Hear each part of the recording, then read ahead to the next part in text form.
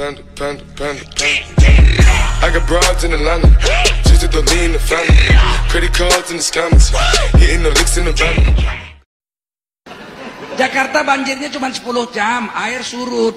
Tapi beritanya di medsos, Jakarta tuh macam kena tsunami Aceh.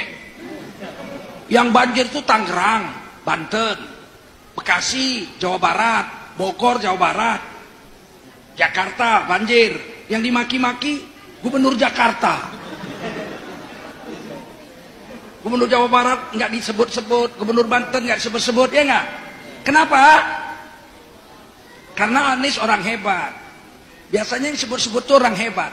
Kalau Sontoloyo, Sontoloyo nggak disebut itu.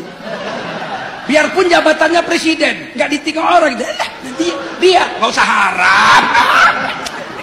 Nanti datang kalau udah surut baru dia datang. Assalamualaikum warahmatullahi wabarakatuh. Ini apalagi ya, ujuk-ujuk ngeliat ini si tua bangka, masya Allah. Ustadz Julkarnain, Tunggu Julkarnain, Ustadz ya, Ustadz kerjaannya ceramah, kerjaannya di mimbar, ngisi pengajian, tapi omongannya masya Allah, malu, malu udah tua, banyakin ibadah. Kalau emang jadi pendakwah ya jadi pendakwah yang baik, nggak usah ujaran kebencian. Apalagi lebih-lebih hoax, hoax, berita bohong, ya. Jakarta itu walaupun sudah seminggu dari kejadian, itu masih ada genangan air banjir. Bekas dari banjir tersebut, ya. Memang banjir Jakarta ini tidak hoax. Yang kamu katakan 10 jam air itu sudah surut. Ya. Banjirnya memang fenomenanya baru tahun ini. Ya, banjir yang sampai menenggelamkan sampai mobil pada ngambang itu baru tahun ini. Ya, karena Jakarta itu ibu kota. Jadi walaupun di Bogor banjir, di Bandung banjir, di Tangerang banjir, ya yang jadi sorotan rakyat Indonesia ya Jakarta. Kenapa? Jakarta ini adalah ibu kota negara. Lagian beda kan, paling unik itu kan Eh, Jakarta sendiri waktu pemilihan gubernurnya kan paling aneh juga.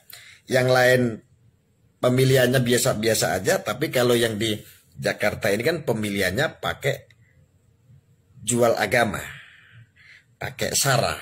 Nah ini kan paling ya sudah pokoknya begini aja lah Ustadz, Ustadz Tengku Zulkarnain. Ente udah udah tua, udah tuir ya ibadah yang bener takutnya malaikat besok lewat cabut nyawamu ya. Gak usah bikin ujaran-ujaran kebencian apalagi hoax berita bohong ya. Jakarta banjir seminggu pun masih ya. Nggak cuma 10 jam surut. Emangnya ya. Yang bener jadi ustad. Gak usah isinya hoax. Isinya gak usah cuma nyinyir sana nyinyir sini. Menjadi seorang pendakwah harus bisa diterima oleh semua umat semua golongan ya. Gitu aja. Untuk Teguh Zulkarnain. Ingat, ente udah tua.